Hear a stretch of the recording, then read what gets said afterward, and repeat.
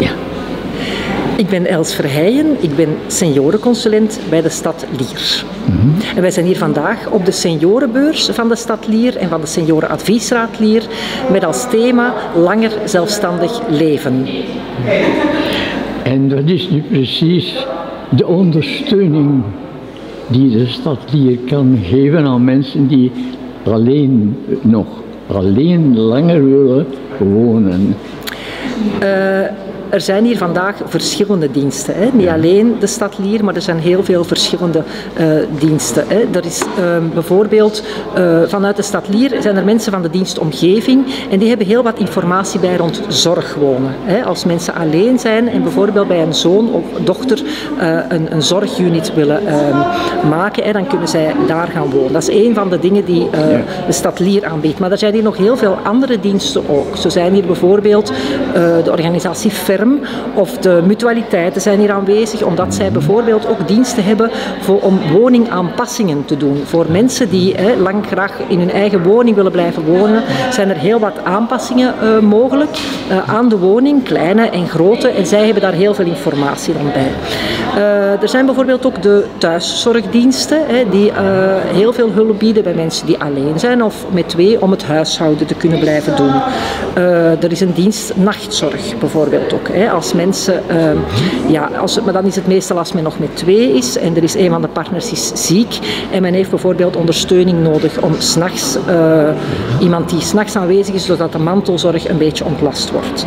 Uh, er is de, de gezins, de, de thuisverplegingsdiensten zijn hier ook aanwezig. Hè. en dan hebben we ook een aantal organisaties die hier zijn. dat gaat meer over als mensen willen verhuizen naar een andere woning. Hè. Bijvoorbeeld de, een aantal woonzorgcentra waar ook assistentiewoningen zijn.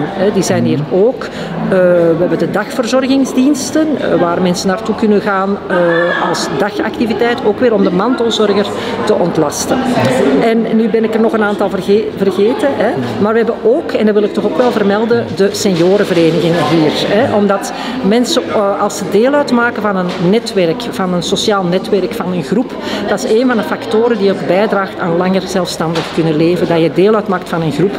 En daar zijn de seniorenverenigingen met hun grote aanbod aan activiteiten ook een heel belangrijke partner in. En wanneer ze dus hulp nodig hebben, kun je dan telefoneren ja, alle organisaties die er zijn, die hebben zowel uh, telefoonnummers hè, waar ze naar kunnen bellen, die hebben ook een website hè, waar je naartoe kan surfen. Hè. Uh, maar ze hebben zeker ook allemaal een telefonische uh, mogelijkheid om ze te bereiken. En ze zijn hier vandaag allemaal, dus ze zullen allemaal een folder bij hebben met hun contactgegevens. Ik dank u voor deze prachtige uitleg. Graag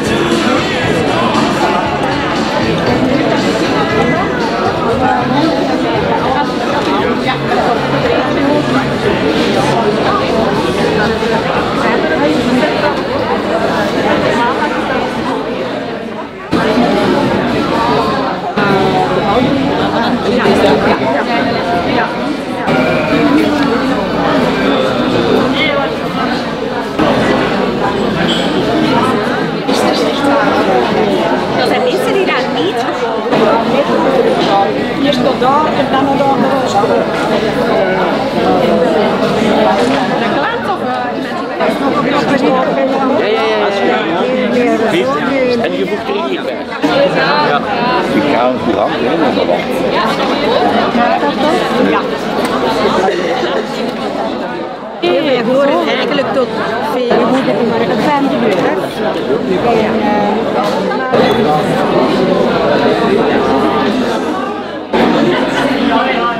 niet veel volk gaan, denk Ja.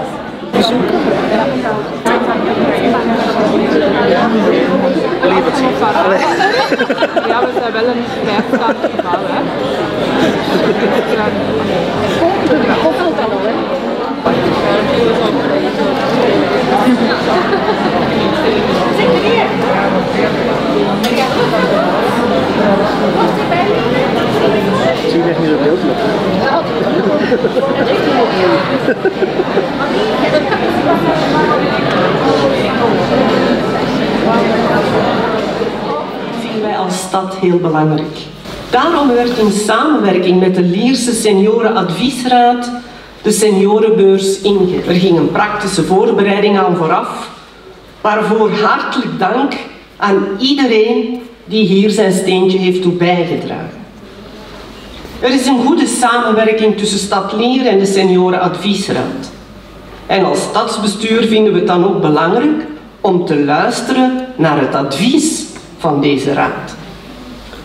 Op vraag van de Seniorenadviesraad en met hulp van senioren werd enkele jaren geleden het ouderenbehoefteonderzoek uitgevoerd bij 700 Lierse senioren in samenwerking met de Vrije Universiteit Brussel. Ik denk een mooie vorm van participatie van senioren aan het lokaal beleid. De resultaten van dit ouderenbehoefteonderzoek hebben geleid tot nieuwe aandachtspunten voor de stad Lier. Zo werd bijvoorbeeld duidelijk dat de Lierse senioren het liefst zo lang mogelijk thuis willen blijven wonen. En wanneer zij toch verhuizen, is het vooral omdat de woning of buurt niet meer aangepast is aan hun noden. Naar aanleiding van het onderzoek werd vanuit het Seniorenadviesraad begin 2024 een werkgroep Wonen opgestart. Deze avond om 19 uur kan u Dirk Doucet, auteur van het boek Zorgen voor Morgen, aan het woord horen. Hij zal verder ingaan op dit thema.